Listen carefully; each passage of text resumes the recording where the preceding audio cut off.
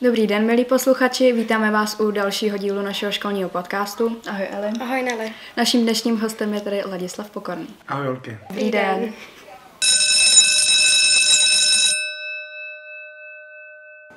Jsem rád, že ty s váma můžu být. Taky. Nejdříve bychom byli rádi, kdybyste se nám představil, takže kdo je Ladislav Pokorný? Ehm, Já jsem tuto otázku už očekával, protože jsem koukal na ty předešlý videa, předešlý podcasty s ostatníma učitelama, takže jsem se ani trošku připravil. A líbila se mi hrozně odpověď pana Hrušky, kdy řekl, že vlastně obyčejný člověk. Ale já o sobě řeknu první, co, že jsem hrozný lenoch. Já jsem opravdu lenoch a jakmile mě někdo nekope a nenutí do něčeho, abych to udělal, tak to prostě neudělám. A jsem hrozný prokrastinátor, to znamená fakt hrozně prokrastinuju. Ehm, O tom svědčí moje dlouhodobé studium asi na vysoké škole a fakt jako už bych to mohl někdy konečně dodělat. A uvidíme, jestli ta moje prokrastinace vyhraje, nebo jestli vyhraje moje nějaká, řekněme, chtít se vzdělávat. Doufám, že vyhraje tohle. Tak když jste zmínil um, tu vysokou školu, tak uh, se vrátíme k základce a kde jste ji vystudoval. Tak já jsem vlastně vystudoval, já jsem Pražák rodilej, takže jsem se narodil v Praze, pak jsem šel studovat a, nebo přestěhovali jsme se do Újezda, tady kousek hnedka od Úval. Tam jsem žil nějakých 22 let, takže jsem byl tam pět let na škole a pak jsem šel na osmatý gymnázium do Českého Brodu. A tam jsem vlastně společně s eh, paní učitelkou Kosmatovou teda studoval, která byla až na čtyřletém gymnáziu. A musím říct, že na tom gymnáziu jsem zašel asi nejlepší roky svého života. A jak vzpomínáte na školu? Tak vlastně na té základní škole ehm, to studium proběhlo tak, že si to moc nepamatuju, protože jsem byl ještě malý. Jediné, co si pamatuju, že jsem ve třetí třídě předal svou paní učitelku, což bylo celkem vtipný, protože od té doby šla její autorita trošku pryč. a na ten Gimplos fakt jako na to gymnázium vzpomínám jenom pozitivně. Tam, to, tam se mi to hrozně líbilo, zvlášť v tom českém Brodě, malý, gymna, malý rodinný gymnázium, takže samý jako pozitivní vzpomínky. Kromě některých učitelů, a to máte asi stejně tady na základní škole. Třeba učitel tělocviku? Vy jste dobrý učitel. To jsem chtěl slyšet. A byl jste spíše uh, vzorňák nebo lajdák? No, já jsem měl takový období, řekněme, že se to tak jako střídalo. Když jsem se snažil první dva roky studia na tom gymnáziu asi tak být jako ten s těma lepšíma známkama a potom jsem zjišťoval, že ne úplně vždycky je to v mých schopnostech studovat takovým stylem, kterým by si třeba to gymnázium jako zasloužilo. To znamená přijet domů, sednout se učit, mě spíš bavilo chodit mimo ten dům a nesedět za, za těma úkolama a dělat je. Takže se to hodně střídalo. Myslím si, že pak ten, to vyšší gymnázium, vlastně ta, ten, ty poslední čtyři roky na tom gymnáziu, tak ty jsem spíš byl už asi ten neúplně slušňák, už asi ten lajdák, který tak jako snažil se projít hlavně ten gimpl. Jste nějaké úspěchy nebo průšvihy? No samozřejmě, nebo říkat, že ne. Ehm, asi jeden, jako jedna moje výborná vzpomínka je, když jsme s, vlastně nás vypustili na dvůr o velký přestávce a my jsme nevěděli, co dělat, protože nám nechtěli dát míč. Tak jsme si tam vzali dlažební kosky a začali jsme hrát vybíjenou dlažební koskou. A pamatuju si naši paní učitelku Kantovou, která na nás vykoukla z okna, chvíli nás pozorovala, jestli to jako myslíme vážně. A to jste, to, to, jste jako neslyšeli, jak je schopná takhle starší paní křičet prostě, co jsme to jako vymysleli, jak je možný, že hrem s dlažební kostkou vybíjenou. Takže nás pak jako přišla ještě trošku dořvat dolů, no měli jsme pak nějaký poznámky, no. A nějaký, nějaký víc průšvihů. Um, a na té asi škole ne. A co třeba nějaké úspěchy? Tak v případě úspěchu na tom Gimplu, tak tam byly hlavně sportovní, protože jsem, jsem vlastně reprezentoval školu tak jako na všech uh, soutěžních akcích, nebo ne úplně na všech, ale na těch hlavních, jako florbal, fotbal. A vždycky se nám dařilo postoupit z nějakého toho okresního kola do krajského, ale na republice jsem nikdy nebyl. Na republice se nám se školou úplně nepovedlo. On, ono to gymnázium v Českém Brodě je taky dost malý, takže tam je málo dětí, um, jestli si pamatuju dobře, asi 300. A takže možná jsem byl proto v té reprezentaci, že tam nebylo moc na výběr. Jo. A jinak úspěchy, já nevím, co bych řekl. Možná, že jsem byl v zeměpise druhý, podle mě ze školy, to si pamatuju. To by ze mě měla paníčelka Hlízová radost. A od té doby jsem ten zeměpis vůbec neměl, neměl v ruce, takže nevím už, co se tam teďka učí pořádně. A kromě fotbalu a florbalu dělal jste ještě nějaké jiné sporty? Tak na té škole, na tom gymnáziu jsme dělali úplně všechno. Takže ještě basket, volejbal, prostě ty hlavní sporty, házenou taky. A potom mimo teda školství, tak já jsem začínal s fotbalem právě v újezdě kdy jsem ho hrál asi 4 roky, pak mě přišoupli, protože jsem nějak vyrost, tak mě přišoupli do staršího uh, družstva, tam jsem s nima hrával, jenže já jsem neměl nikdy úplně kopnout do míče. A když jsem ještě jako mladší a ve starším družstvu, tak mě dost, uh, neřekl bych šikanovali, ale i trenér byl hodně zprostý, rodičům to nevyhovovalo, tak jsem začal zkoušet něco jiného. Jezdil jsem rok do Brandýsa na florbal, basket jsem zkoušel, hokej jsem zkoušel, eh, prošel jsem si to docela dost a skončil jsem tady vlastně v úvolech na házení a to mě už nepustilo.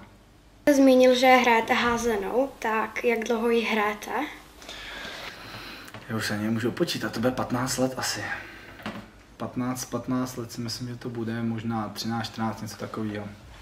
Mhm. A za jaký tým jste zatím hrál? Tak začínal jsem tady v Uvalech, eh, kde jsme vlastně začínali v počtu asi 20, 20 dětí, což musím říct, že už je teďka úžasný, že těch dětí je tam asi 100. Tady jsme hrozně povyrostli jako klub. Eh, už tam nejenom hrajou, ale trénují děti, už nějaký taky rok, už to bude taky vlastně možná 10 let. A zároveň jsem dokonce dělal rozhodčí házený, což bylo fajn, musím říct, že jsem si tím vydělal docela pěkný peníze. A pokud, mám, pokud se mám ještě dostat k té házený jako trošku širšího, širšího spektra, tak um, jsem ještě hrával v zahraničí a hraju teďka v zahraničí v rámci Erasmu. Jsem hrával v Německu, v Bonu, za Bonu. Teďka jsem vlastně zjistil, že jsem hrál docela vysoko, ani jsem to nevěděl, jakou ligu jsem tam hrál. A ještě jsem hrál v Kobylisích házenou a teďka hraju vlastně v Kunevalde dojíždím pravidelně, dvakrát týdně na trénink a na zápas. A za ty úvaly teda už nehrajete? Nebo... Za úvaly hrát nemůžu, já bych hrozně rád, ale už za ně hrát nemůžu, protože to jsou prostě nějaký pravidla svazu a bohužel tím, že jsem v zahraničí, tak můžu hrát ten zahraničí. Ale aspoň tady trénuju děti stále. Jaký byl váš nejhorší úraz při házení? To je výborná otázka. Můj nejhorší úraz se ku podivu stal zrovna 14 dní před přijímačkama na pedagogickou fakultu, na kterou jsem hrozně chtěl, když jsem měl jít na talentové zkoušky, to znamená, že jsem na to musel trénovat eh, i já se svou postavou, tak jsem se snažil dělat nějaký výmyky a takové věci, gymnastiku, plaval jsem a já jsem se otočil koleno, těsně před těma talentovkama, takže jsem si požádal o náhradní termín, ten jsem sice dostal, ale už 14 dní později, já jsem s otočeným kolenem stejně to nemohl jít, takže mě na pedagogickou fakultu vlastně nevzali. A potom asi ten, ale úplně nejhorší, tak to bylo, kdy mě vlastně tady v té hale už postavený srazil ze zadu do zad a pohnul mi s obratlem, takže od té doby máme občas jako problémy se zádem. Tak zmínil jste, že jste v rámci Erasmu hrál házenou, tak co to vlastně Erasmus je a jak jste se k němu dostal? To je dobrá otázka, jak jsem se k němu dostal. A já jsem slyšel od své starší sestry o něm, ona byla ve Vídni na Erasmu a říkala, že to byl její nejlepší rok na vysoké škole, tak jsem říkal, že to musíme zkoušet, protože já mám nejradši ty nejlepší roky. A tak jsem se přihlásil vlastně na Erasmu, tam probíhá nějaký výběrový řízení, vy vlastně se přihlásíte, řekněme, na škole vyberete si tři univerzity, kam jste chtěli jet, oni dáte k tomu nějakou podmínku, kam jste chtěli jako nejradši, kam jste chtěli nejméně, řekněme, a oni vám pak řeknou, jestli tady jedete na jakou tu univerzitu jedete. Funguje to tak, že dostáváte vlastně od Evropské unie příspěvek na bydlení a na stravu. Za mě to bylo nějakých 400 euro do toho Německa. Liší se to, jestli jdete na jih Evropy, na sever Evropy a tak dále, tak dále, to nemusím vysvětlovat. A díky tomu, že mě tam teda vzali, tak jsem se tam dostal a pak jsem se dostal i k té házený v, v tom bonu a bylo to super. Jestli půjdete na vysokou, a myslím, že to dokonce funguje na středních školách, tak doporučuji Erasmus, protože tam potkáte spousta nových lidí, zažijete tam spousta nových, nebo získáte spousta nových zkušeností, neskutečně mnoho. Musel jsem žít sám, žil jsem s třema Němkama, na bytě sdíleným, a musím říct, že bylo velice zajímavé se tam jako potkávat, pravidelně sdílet spolu koupelnu a tak dále. A ještě bych vlastně vysvětlil, co to ten Erasmus je. Tak to je možnost studovat zahraničí v cizím jazyce. A já jsem na ten Erasmus odjížděl s tím, že v Německu ale budu studovat eh, anglicky. A když jsem tam přijel, zjistil jsem, že jediný předmět je vlastně v angličtině a zbytek jsem se musel jít němčině, tak jsem se hodně rychle zase učil německy. Takže taky zajímavá zkušenost. Že ne úplně vždycky to funguje, ale ta zkušenost byla skvělá.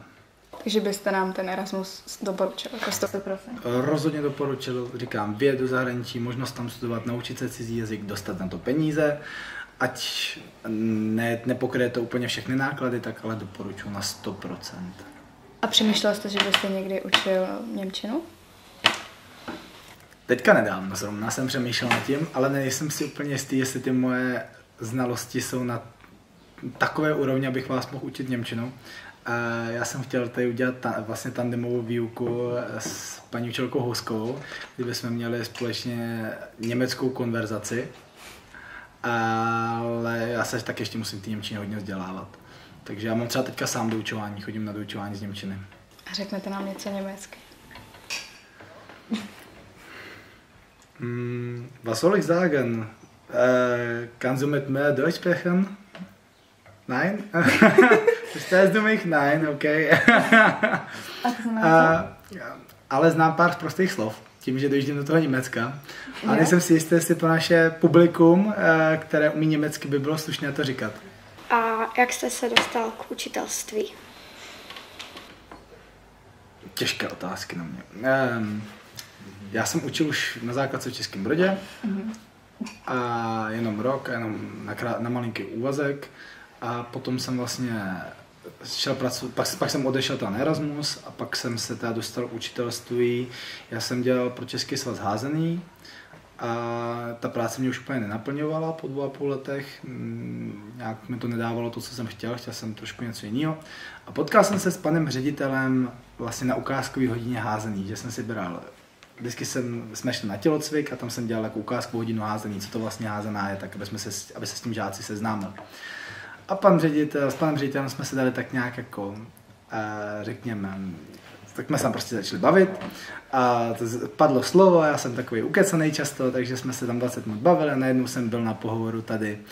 Na pohovoru jsem přišel absolutně nepřipravený, když jsem zjistil, že tam před mnou seděla vlastně pa, paní učitelka, nebo obě paní, nebo všechny tři zástupkyně, personalistka naše, pan ředitel a já tam tak jako přišel vyukaný, co se tady přede mnou děje. A tak jsem najednou byl tady mezi vámi a začal jsem učit.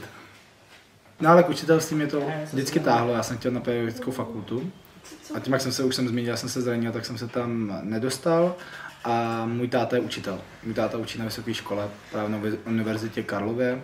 A hrozně jsem tam chtěl. A myslím, že i to je možná ten důvod, proč mě nakonec vzali, protože jsem řekl, že můj učitelský vzor je můj táta. Tak asi tak. Uh, chci se vás zeptat, co vás, uh, nebo chceme se vás zeptat, co uh, vás baví a nebaví na práci učitele. Za tuto otázku děkuju, protože mě asi nejvíc baví ta práce s dětma, ale baví mě ta práce s dětma, který se chtějí něco dozvědět. A hrozně mě štve, když si vlastně učitel, nebo my učitelé připravíme tu hodinu a fakt bychom rádi, aby vás to třeba bavilo a něco jste se jako dozvěděli novýho a pak najednou jako nedáváte pozor, a tam hrozný nepořádek, takže to mě trošku za ten rok eh, řeknu, vyvedlo z nějaký rovnováhy. Měl jsem takovou krizi, jsem si říkal, jako jestli to je opravdu to učitelství pro mě. Je to tak dva měsíce zpátky, taky jsem tady chodil po mě trošku jak tělo bez duše po škole, na to jsem nebyl zvyklý. Pak jsem se zase dostal do nějakého toho svého laufu, kdy jsem zjistil, že jo, že to je super a že to je s vámi jako fajn, když se chcete učit. A vlastně jsem i zjistil, že třeba když já vám mám něco předat a něco třeba ještě neumím, tak se musím sám učit. Já mám hrozně rád, když se můžu jako vzdělávat. Proto jsem možná jako většiný student, furt si vždycky něco najdu, když, i když už nemám čas, tak vždycky se snažím jako něco dozvědět nového. Ale eh, říkám, jako jsem vážně rád, když vy máte o to zájem.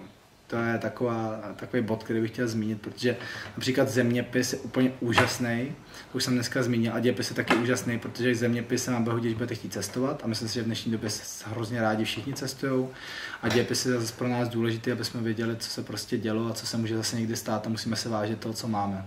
Tak slyšeli jsme, že učíte i ve škvarce, tak co tam učíte? Už je nám jenom sportovní hry, volitelný předmět.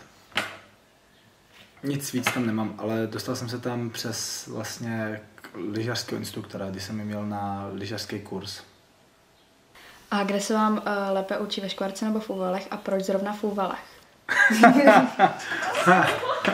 no prostě úval jsou lepší. To je správná otázka, bych řekl.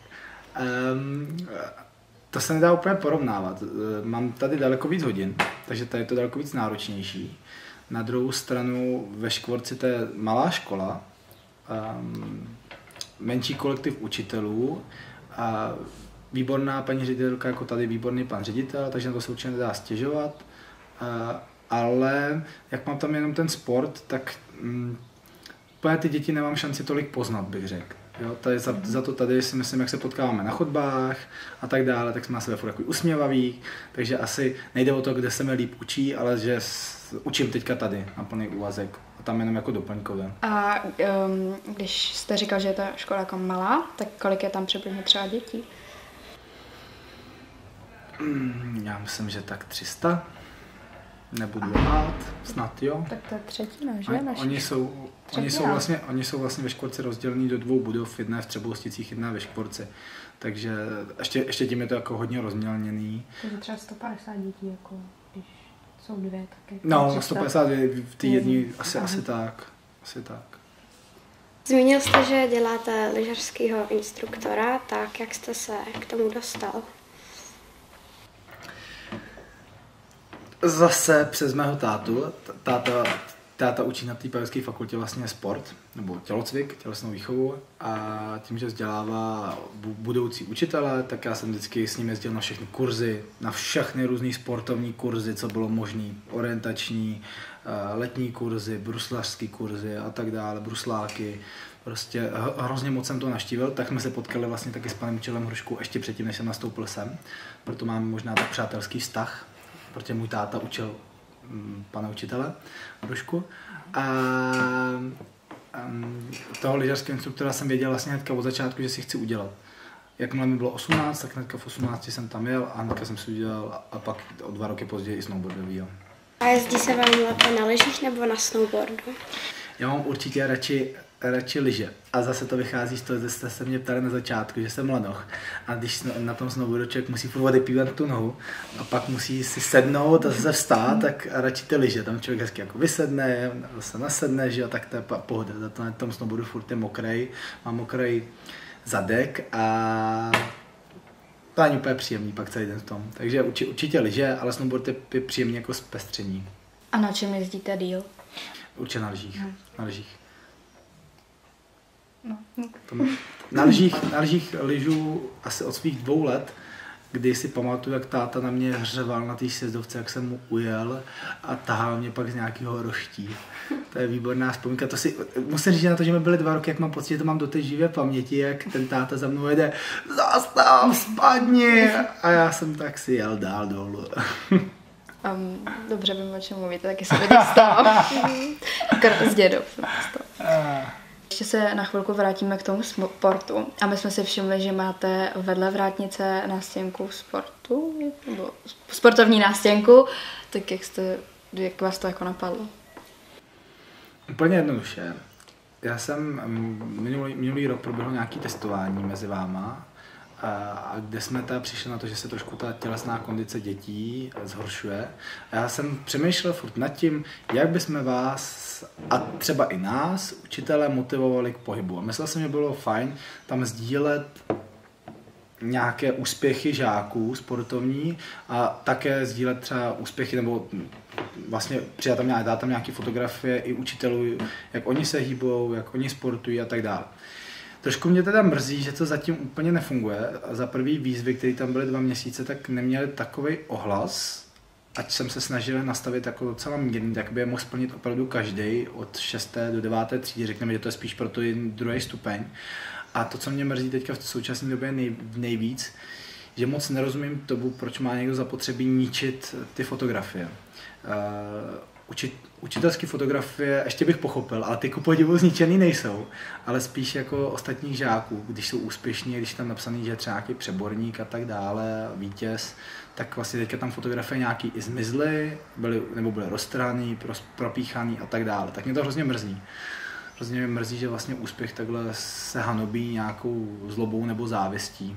A vlastně jsem se snažil ještě na té sportovní nástěnce nějak ukázat, že ten sport jako není méně cený, že je opravdu důležitý, protože zdraví je důležitý A že ta cesta nejenom, řekněme, úspěchů v těch předmětů, jako je matika, fyzika a tak dále, že se nemusíte věnovat jenom tomu, ale že se můžete naplno věnovat sportu a že vás to třeba může i živit v budoucnosti, když se opravdu snažíte.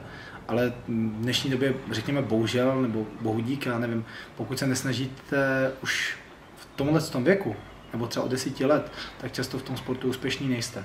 Musíte opravdu něco obětovat, jako chodit do poslovny, běhat a tak dále, abyste měli úspěch a pak se tím mohli případně živit nebo aspoň přivydělávat si k vaší běžní práci. Zajímalo by nás, jestli jste měl na škole nějaký románek. Který mám začít? Takže jich bylo hodně? Um, Tak tak, začnu tím prvním románkem. Měl jsem nějaký románky, měl samozřejmě. Uh, slyšel jsem podcast s panem Michelem Machem, doc- docela na sebe toho prásknul, tak se asi toho taky nebudu úplně bát. Měl jsem románek v 15, dlouhodobý vztah, dvou, dvou, a půl, dvou a půl roku. Pak, jsme mě, pak jsem měl další dvou půl letý vztah. A pak jsem právě už úplně nechtěl vztahy, pak jsem měl ještě krátkobytá vztah a pak jsem úplně nechtěl vztahy a chtěl jsem spíš nějakou volnost, takže tam jsem měl nějaký románky, řekněme. Máte v současnosti nějakou partnerku a jak jste se poznali? Mám, poznali jsme se na gymnáziu, ale nedali jsme se dohromady na gymnáziu, dali jsme se dohromady až tři roky potom, kdy jsme se potkali na maturitním plesu, který jsem moderoval. Jak jste dlouho s partnerkou spolu? Č- přibližně čtyři roky. No se to nedá úplně spočítat, protože nemáme přesný datum. My jsme jak nějak k tomu jako došli, k tomu, že spolu budeme chodit. Jak se jmenuje vaše partnerka? Jmenuje se Ališka. Myslím, že to je krásný jméno. Že Ališko? O, pak tu máme otázku, jestli chcete mít děti a případně kolik. Rozhodně, dokonce jsem plánoval děti už tak dva roky zpátky.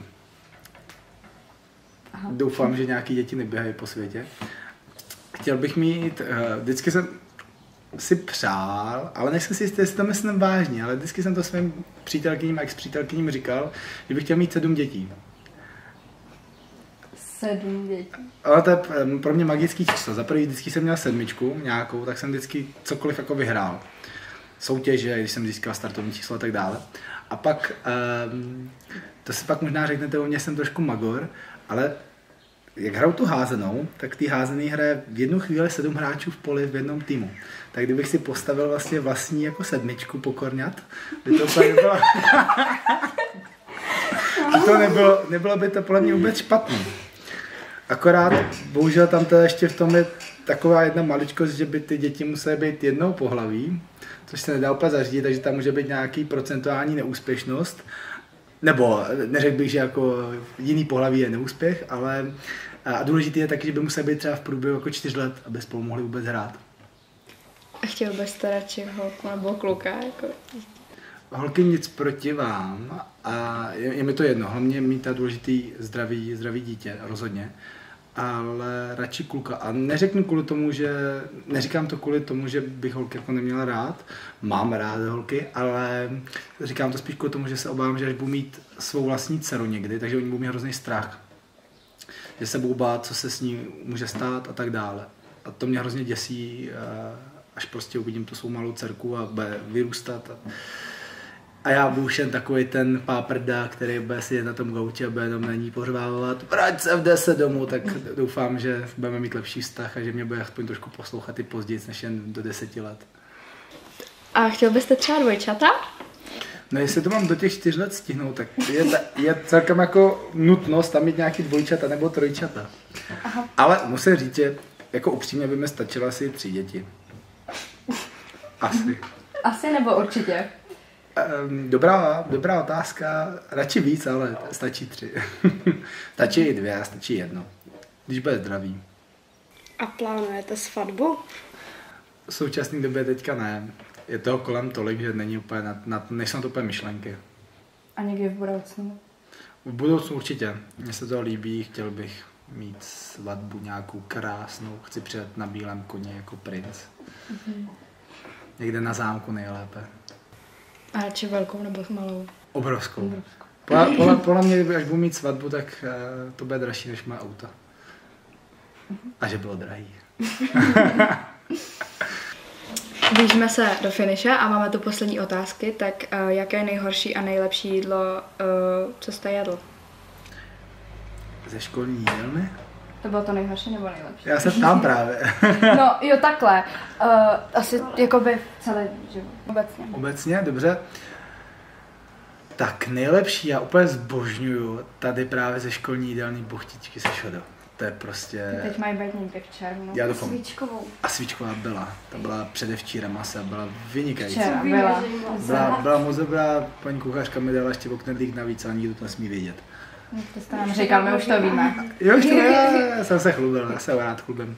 A nejhorší, nejhorší jídlo, tak to byl určitě tatarák, který nebyl dobrý a vlastně, když si dáte jako tatarák, který není úplně dobře udělaný nebo ze správného masa, tak potom nám bylo hodně špatně. Takže nám bylo hodně špatně a musím říct, že to úplně nebylo dobré jídlo. Od té doby se mu trošku jako vyhýbám tomu tataráku. A kdyby byl dobře udělaný, tak jako ho máte mám rád, rád, jo? mám rád tatarák, mám rád tatarák. Máte rád řízek. Jako asi každý správný Čech. Mám rád řízek, mám rád hodně řízek, obzvlášť když jsem byl na tom Erasmu v Německu v Bonu, tak tam každý den, i spousta jako vý- výběr jídel, ale řízek byl vždycky každý den. Možnost si vybrat řízek vždycky s hranolkama. A jako Ne, z, jaké, z jakého masa? Jako ho máte nejradši? Z vepřového, já jsem vepřový. Na závěr tady máme perličky. Víte, co jsou perličky? Vím, to jsou perličky. Můžeme Jste připraven? Jsem ready, jdeme to. Mícháte krupicovou kaši? Rozhodně. Patří pizza na ananas. Rozhodně. Uh, hory nebo moře? Uh, hory. Deskové hry nebo videohry. Oboje. Hned. Kolektivní nebo individuální sport? Uh, kolektivní. Výuka uvnitř nebo venku. Venku. Uh, leto nebo zima? Jaro.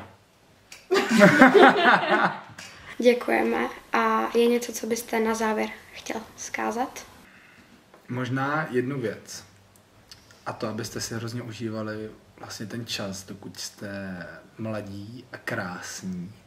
Protože pokud zestárnete, tak už ten život není taková sranda. A to myslím vážně. Užívejte si, že máte ten čas na sebe, že si, že si můžete vlastně de facto krom té školy dělat, že co chcete, bych řekl. A važte si toho, a i ve škole si ten čas užívejte se spolužákama, protože ono to pak hrozně rychle uteče. A nic se nenadějete a uteče to. A za druhý bych vám chtěl hrozně poděkovat, protože to bylo s vámi moc příjemný.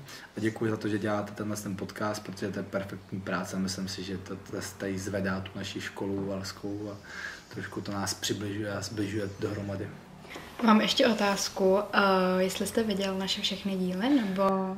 Přiznám se, že všechny jsem neviděl. Přiznám se, že jsem všechny neviděl, protože na to nemám úplně prostor a někteří hosti mě třeba tolik nezajímali, upřímně.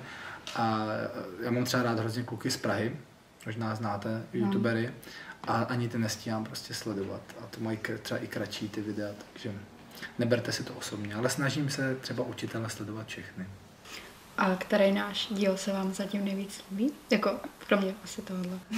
Tak. Samozřejmě, že tenhle se vám Ten bude, nejlepší, ten bude doufám nejlepší teďka, ten vám zvedne ještě sledovanost, ale líbil se mi hrozně díl s panem Machem, myslím si, že ten tam toho hodně, hodně řek a pak teda, protože jsme si blízky s panem učitelem Hruškou, tak musím říct, že pan učitel Hruška ten tam perl taky bomby. My děkujeme, že jste to dokoukali až sem. Nezapomeňte nám dát uh, odběr, like a sledovat na našem Instagramu a budeme se na vás těšit v dalším školním roce.